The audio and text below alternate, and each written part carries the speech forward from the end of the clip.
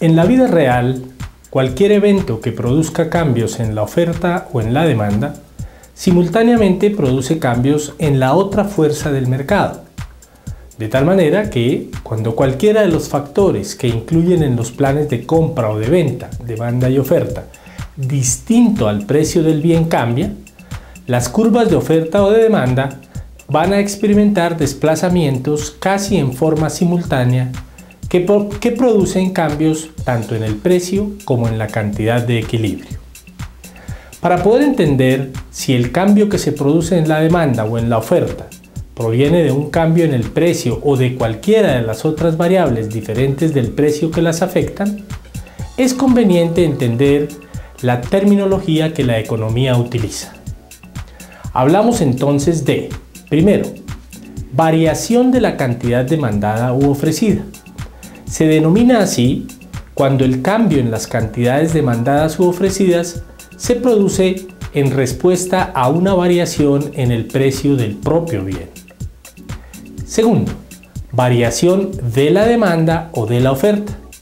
Se denomina así cuando el cambio en las cantidades demandadas u ofrecidas se produce en respuesta a una variación en cualquiera de las variables diferentes al precio que afectan el comportamiento de la oferta o de la demanda.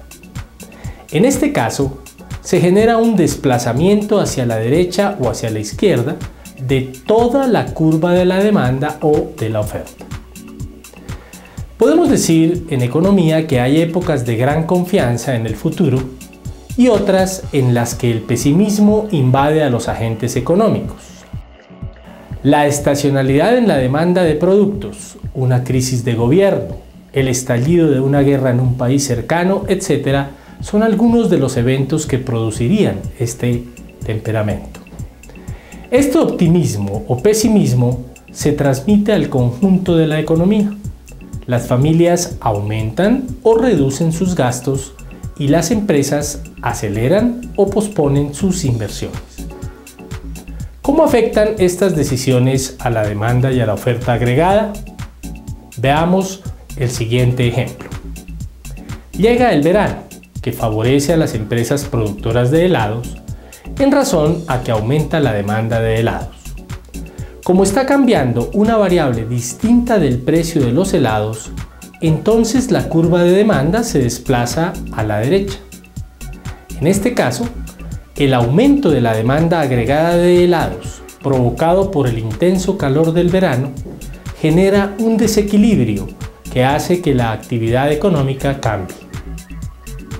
Los productores de helado conociendo que se trata de un fenómeno temporal, no incrementan su inversión y elevan los precios, incentivando la disposición a ofrecer más helados, lo que se traduce en la búsqueda de un nuevo equilibrio en el mercado, tal como podemos apreciar en la gráfica que se presenta, donde la cantidad ofrecida y demandada aumenta de 7 a 10 unidades y el nivel de precio se eleva de 2 a 2,50 dólares. Ocurriría lo contrario si se producen circunstancias desfavorables. Veamos otro ejemplo. Imaginemos una economía en equilibrio en la que los costes de producción de las empresas productoras de helados aumentan como consecuencia de un terremoto que destruye parcialmente las instalaciones de producción. En razón a que la variable que afecta a la oferta no es el precio, entonces la curva de oferta se desplazaría hacia la izquierda. Se produce un desequilibrio en el cual la oferta resulta menor a la demanda existente, lo cual hace que las empresas eleven los precios que compensen la subida de costos y mantengan sus beneficios. En el gráfico que se presenta podemos observar que la producción disminuye de 7 a 4 unidades y el nivel de precios sube de 2 a 2,50 dólares. El cambio provocado en la economía plantea un doble problema. La producción disminuye y, como consecuencia, disminuye el empleo. Además, los precios suben y se genera inflación.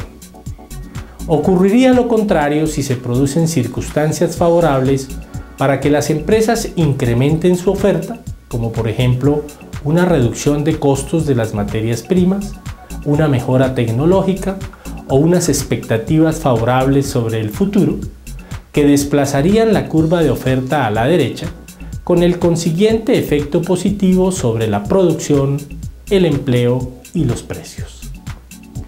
En términos generales, la economía considera cuatro casos en los cuales se producen cambios simultáneos en la oferta y la demanda, tal como podemos apreciar en el gráfico que se presenta. Caso 1. La oferta y la demanda aumentan. Caso 2. La oferta y la demanda disminuyen. Caso 3. La oferta aumenta y la demanda disminuye. Caso 4. La oferta disminuye y la demanda aumenta lo cual nos llevaría a los resultados que se presentan en el cuadro, donde podemos observar que, por ejemplo, un aumento simultáneo en la demanda y en la oferta pueden conducir, dependiendo del tamaño del desplazamiento de las curvas, a un incremento en la cantidad, pero a que resulte incierto el resultado con el precio, ya que éste puede, puede subir, bajar o permanecer igual tal como apreciamos en la gráfica en pantalla. De igual forma, si lo que sucede es una disminución en la demanda y un aumento en la oferta, como apreciamos en la gráfica, esto provocaría una baja del precio, pero dependiendo del tamaño del desplazamiento de las curvas, resulta incierto el resultado con la cantidad, la cual podría subir, bajar o permanecer igual.